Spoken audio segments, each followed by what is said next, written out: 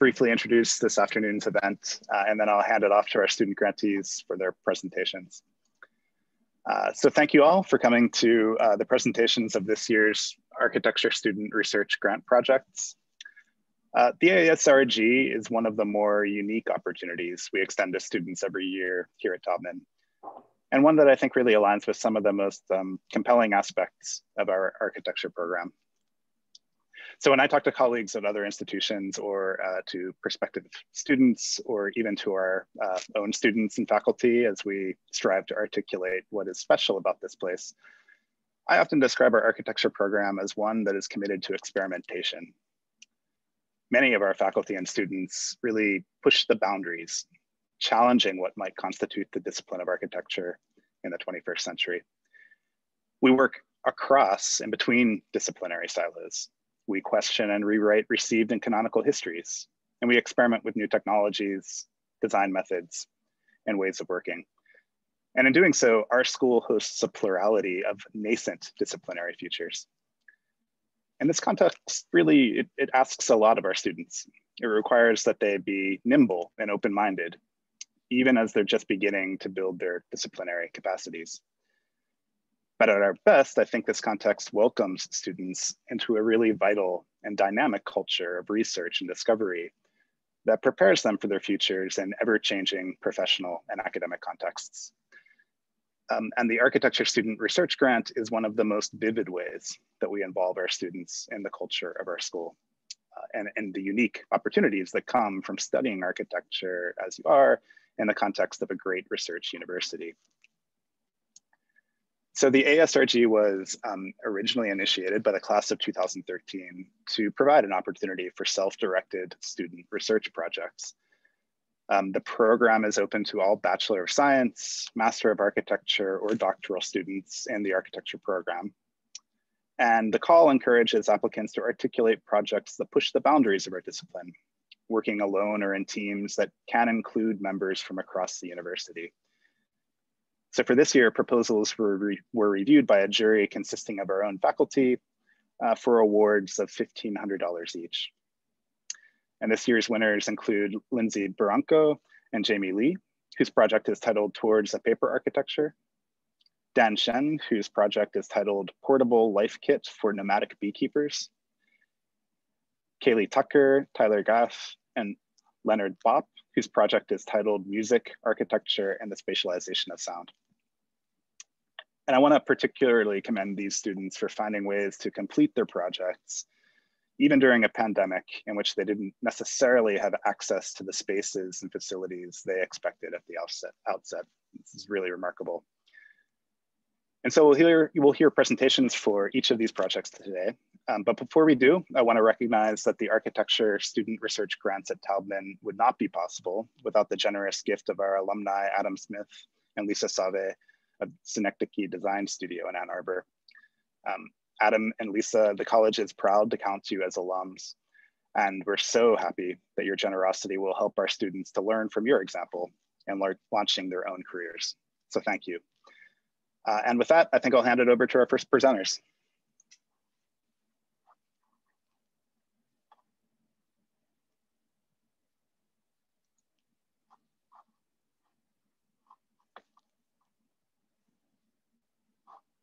Thank you, McLain, for um, introducing. Um, should I just start sharing my screen or just get into um, the conversation? You be you, you go. Okay, okay, so, um, okay, uh, let me just get it started. Um, so is it full screen now? Um, everyone can see it? Um, You're good. Okay, great. Sorry, I can't um, see anything else other than my PowerPoint. So hi everyone, my name is Dan and I'm saying hello from China and I'm currently in my second year of the 3G program. Um, so my research, Portable Life Kit for Nomadic uh, Beekeepers, focuses on the nomadic life of beekeepers in rural China, attempting to set up an authentic visual understanding of their working condition and their living environment of countryside. Then I designed a life kit prototype attempts to befit migrant labor living in their contemporarily assembled accommodation. I'll quickly sum up my research process and then show you the final design and how does the research process help contribute to it. Actually, I've re, uh, redirected myself several times during the research because I found my understanding of architecture based on urban context could not be applied to a kit for uh, beekeepers who live a transient life in the wild, moving five to eight times a year to chase flower seasons to collect nectar as much as possible. Um, so um, the countryside occupies a disproportionate dis space in architecture discussions, considering the area it takes up and the number of people who inhabit it. So I started observing online and interviewing offline with beekeepers, trying to construct a narrative by themselves. So this is a site I visited in Qingyuan, Guangdong.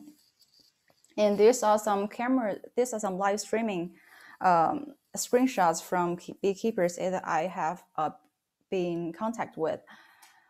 Um, and during my research, I came uh, several questions came to me, like how to define portable when beekeepers carry 160 pounds of bees and honey, repeating this 80 times within three hours and call it daily life, or how to define life when myself is in an urban context and away from beekeepers' living environment and working conditions, or how to define kit when prefabricated kit becomes improvis improvisational. And improvisational materials like metal boards torn down from trucks could become part of their, their tents. So by collecting video clip recorded by beekeepers and interviewing beekeepers, the video, I, I made a video aiming at documenting how beekeepers in rural China work, eat, sleep, travel, play, dance, and sing, and maybe social interact with one another. The video attempts to construct a visual understanding of the group of people, countryside, the relationship between body and the non-urban environment, uh, and the relationship between human and bees.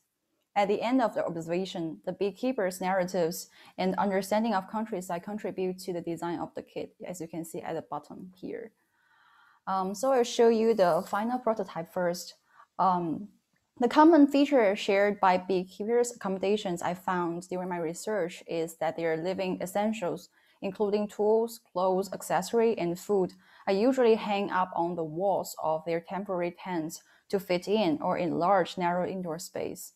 So with this strong impression of hanging status in beekeepers' tents, I designed a kit consisting of multi-purpose units hanging out, hang up on the wall which could be reconfigured to accommodate the need of sheltering, gathering, and storing. So now I'm going to share a video of the research process and um, if anyone can, oh, sorry, I need to, um, I guess I need to reshare it again. Wait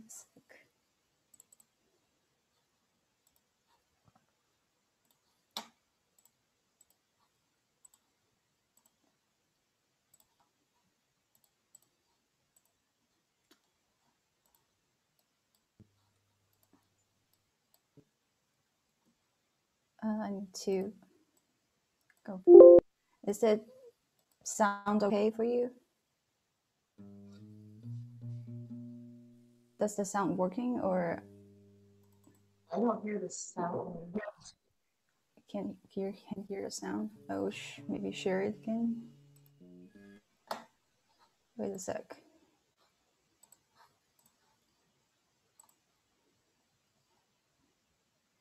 Oh yeah, there's there's music. Then I think it's, it's fun. It's it's fine. Um, let me pull it up again.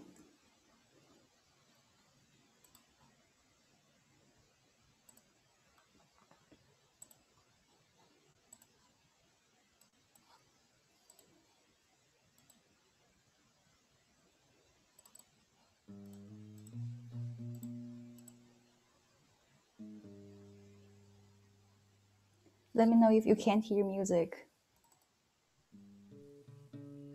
Yes, we can hear. Yeah. Okay, great. 蜜蜂养好，路线走好，一年四季不带花期，能干的比较把握一点，一年下来也还行。如果你要是搞路线走不好，蜜蜂养不好，一年下来就是白干一年嘛。投多少钱投资进去，然后到年底你能呃上本我跟我爸养二百八十箱蜜蜂，前几年都养四百多箱。如果说是养蜂子一起走的话，有个几架子，一般装卸就是两个小时。如果没人的话，就我们父子俩装卸的话，得三个小时。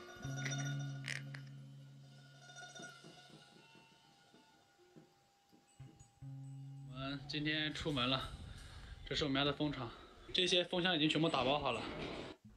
大家好，给你们看一下，我们现在已经到这个目的地了哈。今天蜂蜜上的非常好，今天我们搬家走了，把蜜蜂全部装满，现在拆帐篷。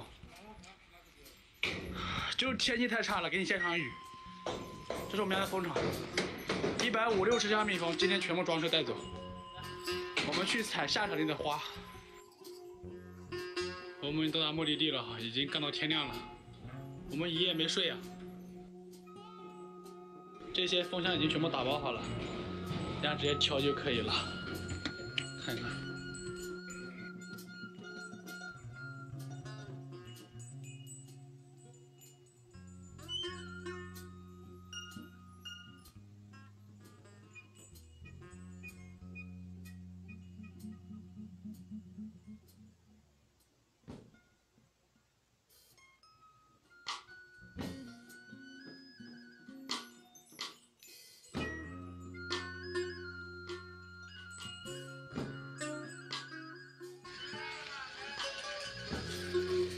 走了，我们去采安吉白沙的花粉，绿茶里面最好的。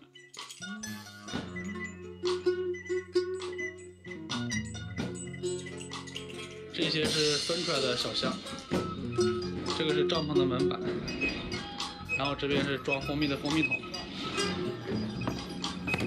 把它全部打满带回家。这是一辆六米八的车，会装得很挤。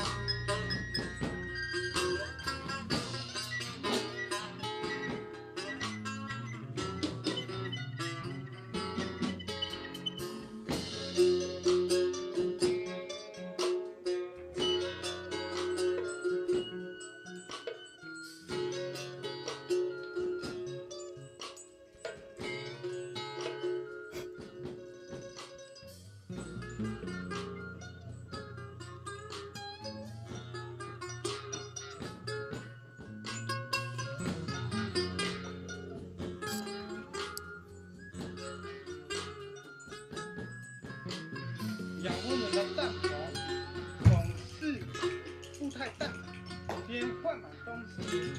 今天我给大家用这个铁丝来帐篷里面能挂上很多东西，你要挂上什么东西都可以。这里面我们都有好几个。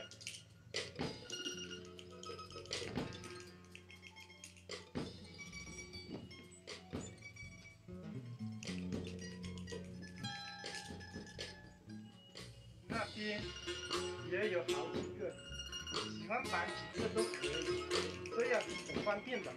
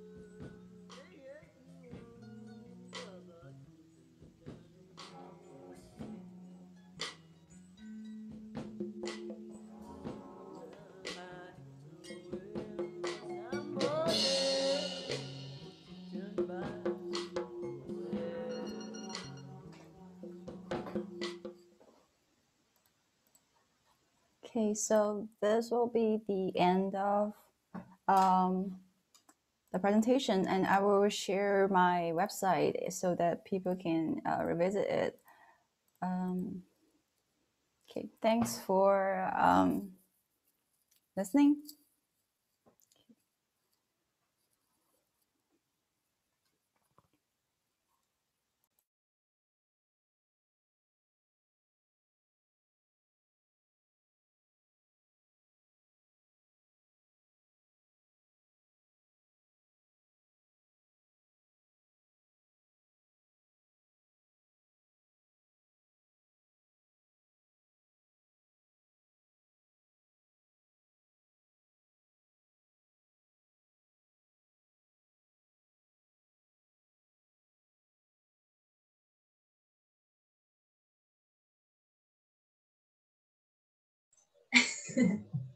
Hi, everyone. I'm Lindsay Barranco. And I'm Jamie Lee.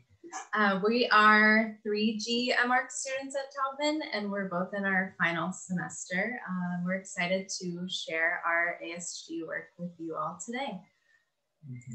So without further ado, I'll We have to screen. do screen Yeah. one or two. This one? Amazing. Yeah, that's correct. Okay, so. Um,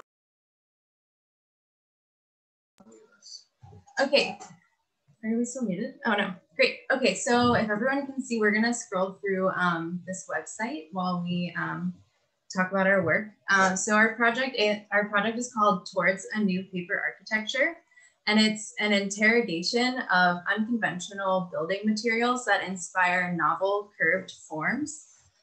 Um, inflatable formwork made from latex is used to create objects made from recycled paper that provide different functionalities and haptic experiences. So during this really quick presentation, we'll explain a little bit about what inspired our research. Um, then we'll talk about our objectives over the course of the nine months since we received the grant. And then we'll finally talk about our making process and show you the results. Um, so what you can see now is um, a final result, but scrolling down, this is um, some imagery from our Situation Studio project when we were partners two winter terms ago.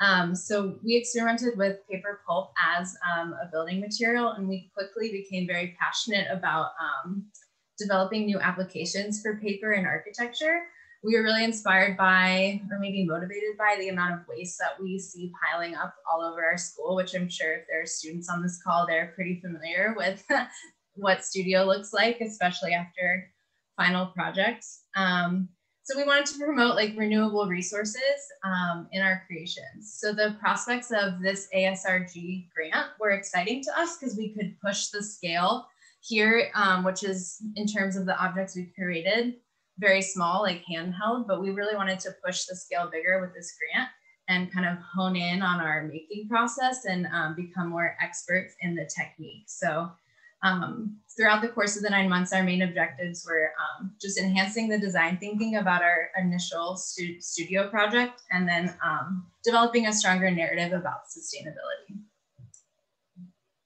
Yeah, so the the uniqueness about developing in scales that you know what Lindsay was mentioning about these are all one to one. You know, they're more like scale models, scale figures that we developed through a series of experiments with balloon forming and balloons that we will buy.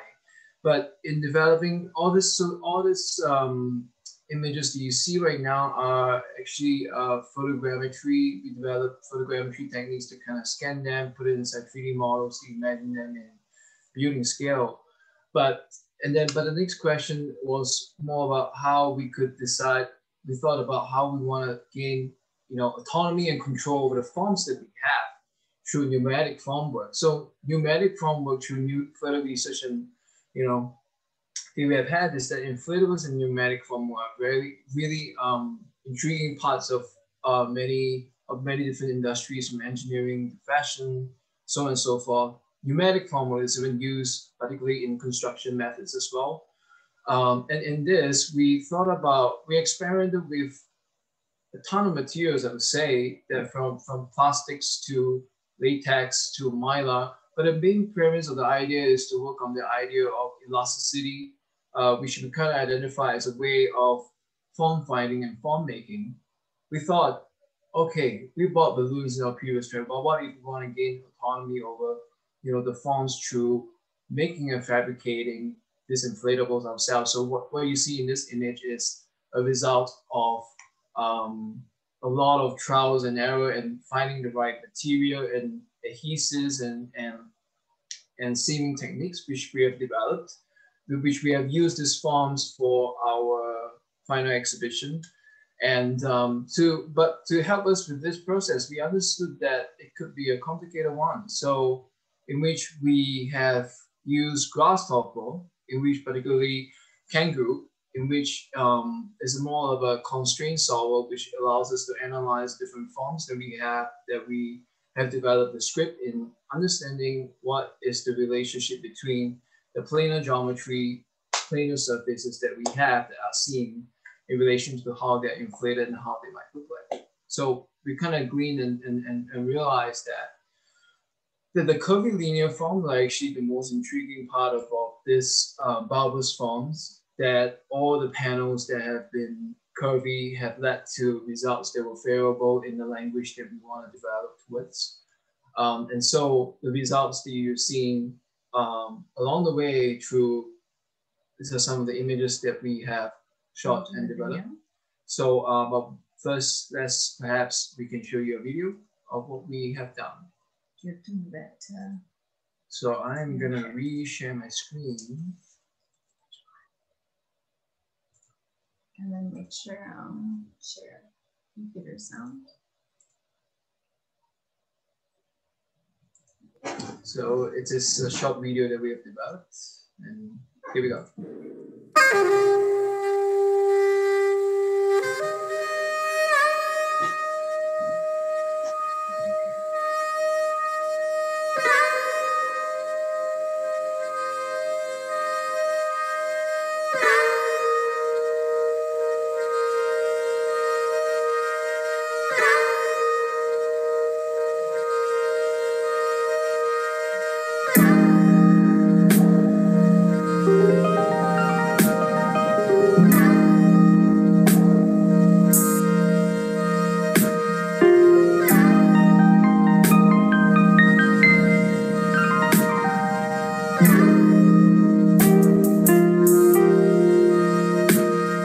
Okay.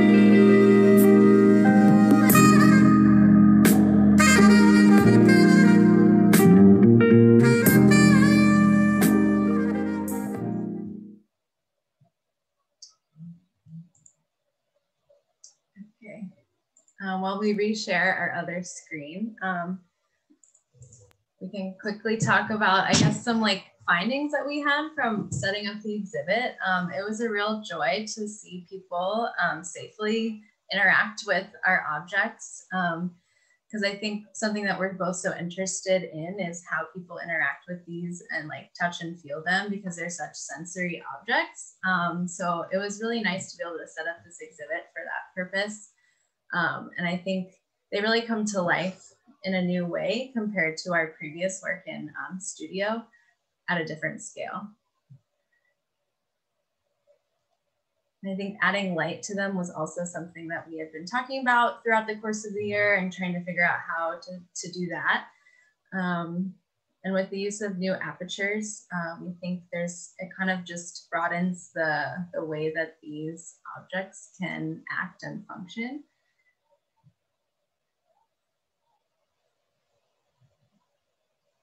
And so to add on a little bit about how, you know, the way we represent, you know, in thinking about the techniques of representation, and, and then perhaps I know that the video might be sparking a lot of laughters behind the screens right now as we're talking, you know, in the past three minutes, you know, the video. I think the whole idea is that, you know, in thinking about the ecology of the material and post-consumer production and how and how post-consumer waste is actually developed and used is that we're trying to give value to the use of waste and a different way of seeing how paper is used in a different light. And the truth is that, you know, we started collecting all these waste products that we have from glues to um, paper, so on and so forth, since COVID, when everybody left the building in Taubman College and I think the whole point of, of this exhibition, you know, in, in, in re-aestheticizing the way in which we portray people um, through different forms that are, um, oh, okay, sorry, to re-aestheticizing how um, is actually used in different interior products that you see right now on, on various different, many different scales, is trying to make people rethink that about its value, its potential uses, and its potential I mean, I think that a lot of ecological problems today can be solved through a different approach and mindset that could be potentially not only scientific but poetic through the arts, through you know, through video production or through different ways of production. How can how can we speculate about more interesting ways of production that can potentially fuel the way we solve the problem of race, especially in this world? And so similarly, I think as architects, I think we have a lot of agencies and having this social responsibility of, you know, being able to make a difference in the world through systemic thinking. And I think that we are thinkers and thinkers. And I think that there's a lot of ways in which we can, we hope to inspire as well as not only just inspire, we hope that through our own work, we can encourage ourselves to, um, you know, continue forth in this. Um, so in this image that you see is the disintegration of people uh, as an object so that, you know, while, you know, while we kind of try to show it as a razzle dazzle object, I think beyond this it's just simply a thin shell that is decomposable and that is the waste is kind of returned back to waste. I think the main idea over here is that, you know, in the architectural field, there's a cultural monumentalization and permanence. And rather than that, we want to seek the ephemerality of our objects in thinking about not trying to create more ways that we don't know where to put or what to do with, but the fact that the waste that is used is kind of returned back to its life cycle of being a waste product on its own. Um, is there anything mm -hmm. to add? No, I think you got it. Okay, I think with that we um, we end our um, presentation. We can should we share the link now, perhaps? Yeah, sure. Okay. Yeah, we can paste the link to the site that we've been showing you already. Um, but yeah, thank you so much, um, especially to Adam and Lisa for giving this grant year, year after year, and for everyone that helped us in our Taubman community. It was a really, really rewarding project to work on. Yeah, we have a lot of friends to, to thank. Um, uh, thank you, McLain, for letting us cause trouble, um, as well as, um, you know, many of our friends, colleagues, uh, yeah. Laura Brown, and uh, many staffs and friends. Okay. Thank you so much. Thank you, everyone.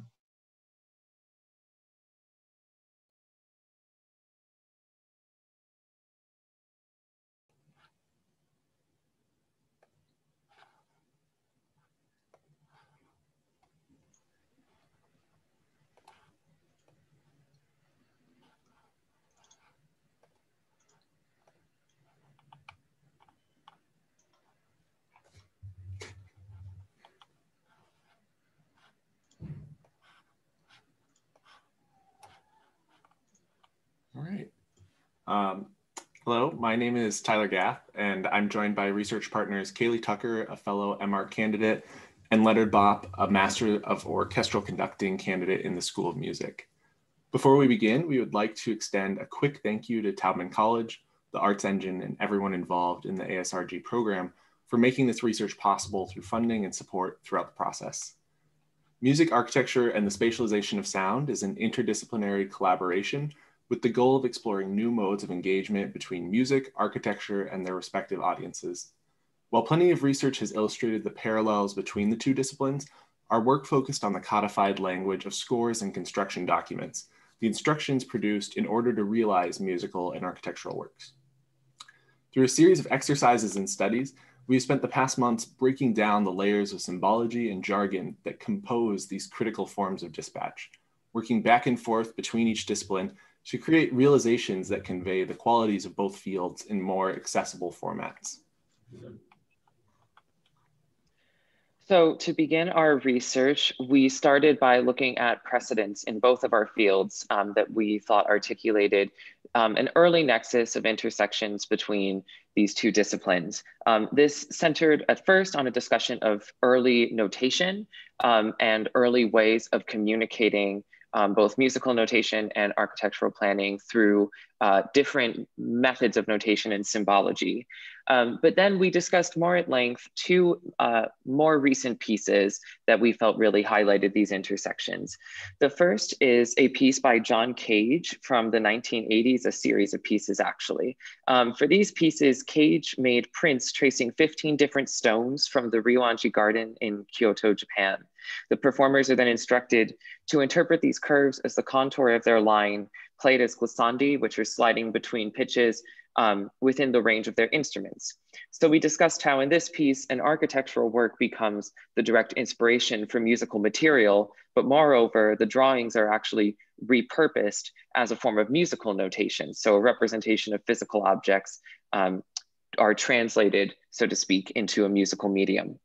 We also discussed the recent collaboration between Ashley and Adam Fure, The Force of Things, which is an immersive installation in which speakers within this space emit sounds too low for humans to hear, but that cause the sculpted material seen here to resonate. So in this piece, like the Cage, we talked about how a sonic experience becomes dictated in large part by an architectural work.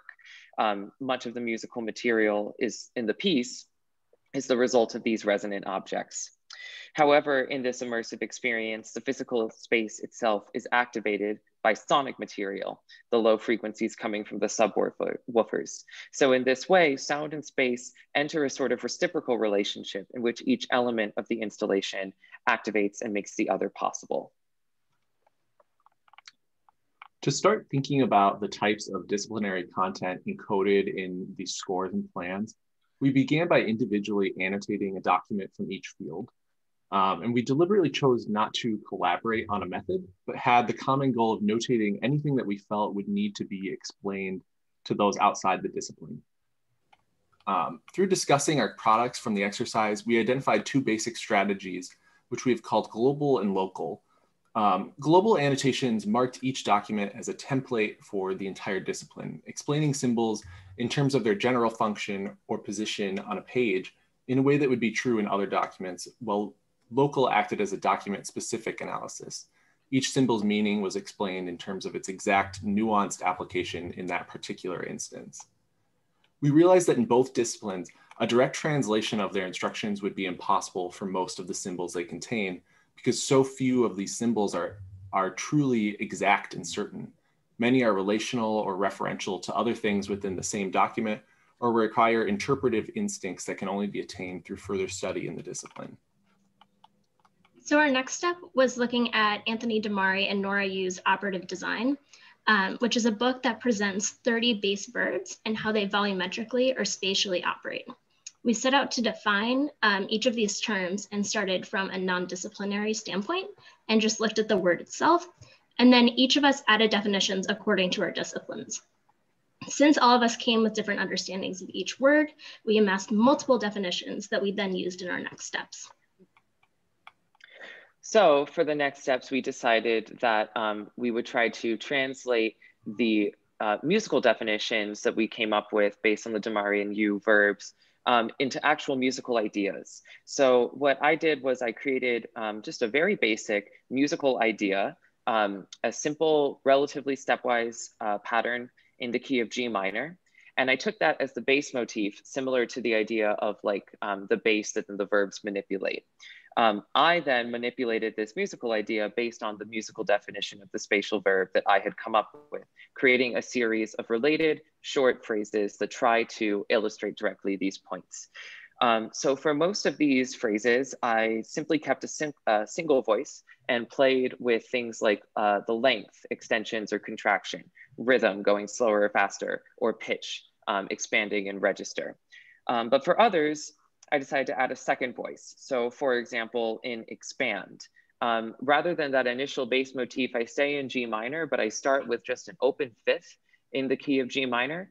And then you'll see that one voice um, is a series of fifths that ascend and another is a series of fifths that descend. And so it creates this idea that the sound is pulling apart in terms of register.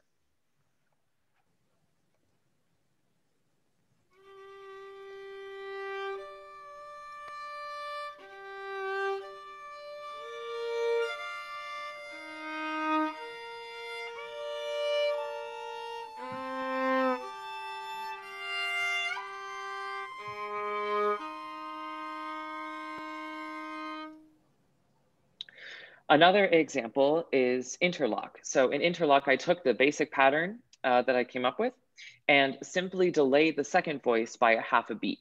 And so this creates a canon where the voices interlock. The register remains pretty tight, um, but you'll hear and see how they crisscross over each other.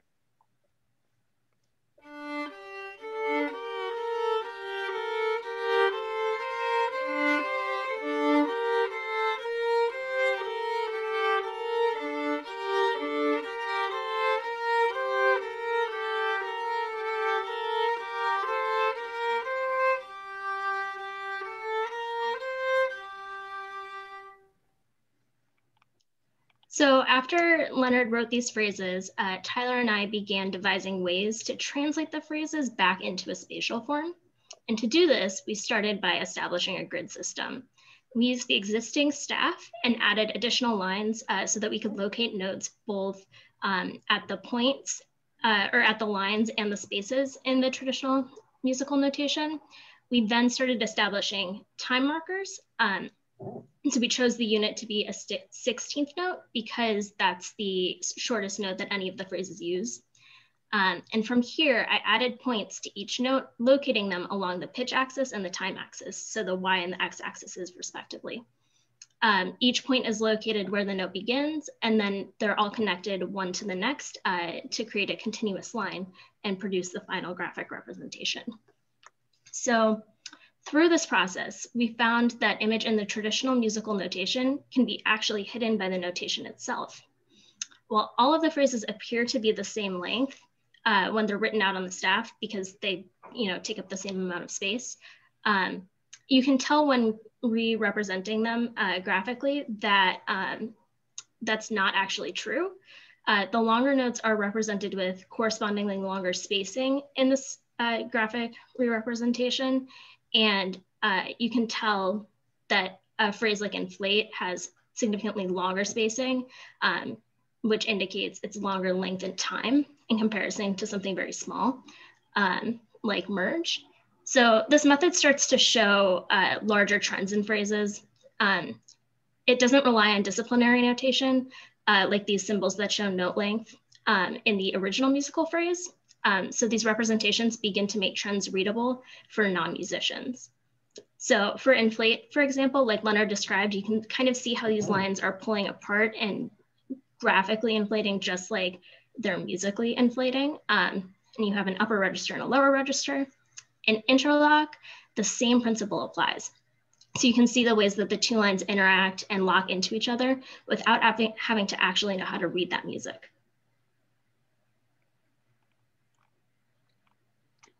For our final exercise in translation, Leonard suggested we use a 16th century motet composed by Thomas Morley as the starting media for the process because of its simple three note motif that is passed between each of the six parts during the piece's progression.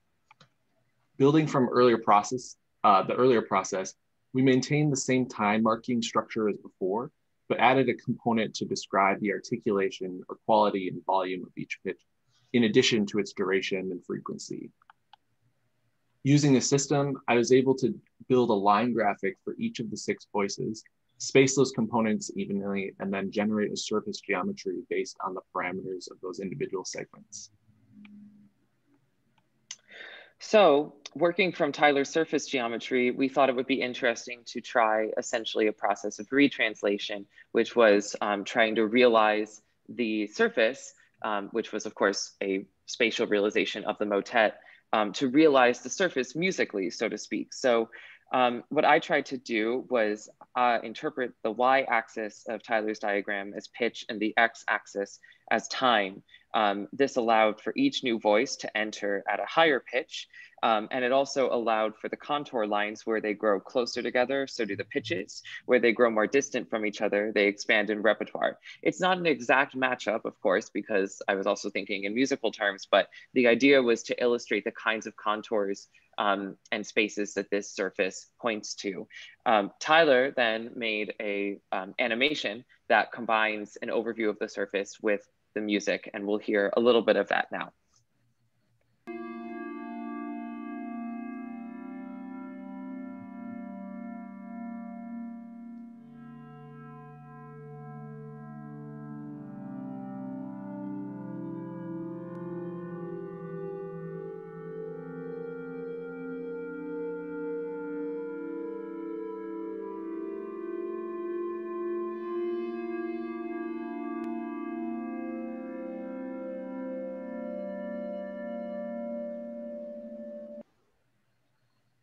So um, it was important in doing this that um, I really tried not to even think about the uh, Morley, or especially that initial three mo motif, which was the reason for choosing the piece. Um, what we found through this process was that through this process of retranslation, this kind of dialogue can lead not necessarily to a return to the original product or medium, but to evolving results, meanings, and interpretations.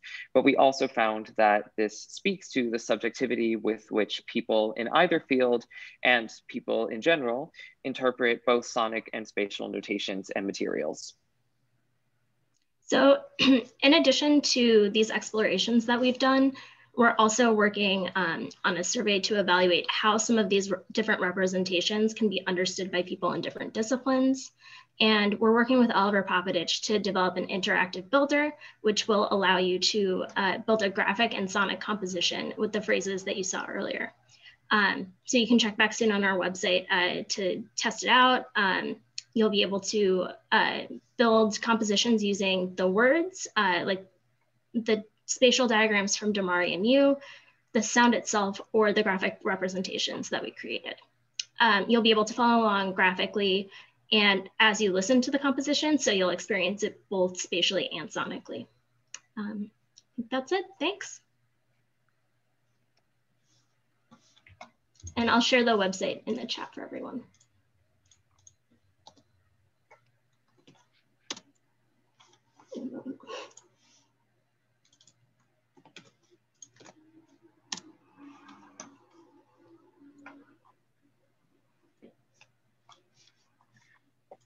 Okay, um, I think it's on me to wrap things up here again. Thank you to uh, all of the teams for the fantastic work. Uh, and to anybody who has uh, just signed on or signed on late, uh, again, these teams submitted these grants assuming that it would end in a physical installation uh, in our gallery and had to um, sometimes pretty radically reimagine the project so that they would live online.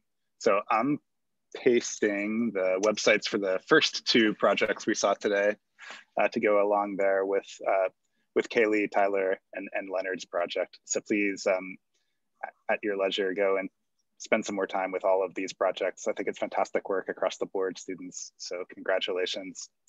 Uh, and to any students who are watching, be on the lookout for um, this year's uh, call for the ASRG grant, uh, which we hope to have coming out in the near future thanks again to Lisa and Adam and to everybody who came today. See you all soon.